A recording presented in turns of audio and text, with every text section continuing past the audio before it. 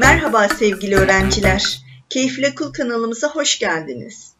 Bu videomuzda Ü harfinin yazılışını öğreneceğiz. Haydi başlayalım. Ü sesini yazmadan önce parmaklarımızı havaya kaldırıp açıp kapatabiliriz. Küçük Ü sesi dört hareket ile yazılan bir harftir. Sizler de parmaklarınızla havada takip ederek yazabilirsiniz.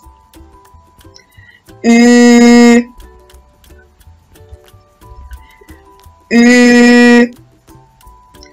Ü. Ü. Ü.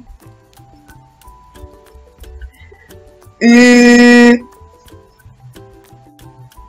Şimdi de büyük Ü sesinin nasıl yazıldığını öğrenelim. Büyük Ü harfini yazmak için elimizi dört kez hareket ettiririz. Sizler de parmaklarınızla havada takip ederek öğrenebilirsiniz. Ü Ü Ü Ü Ü Ü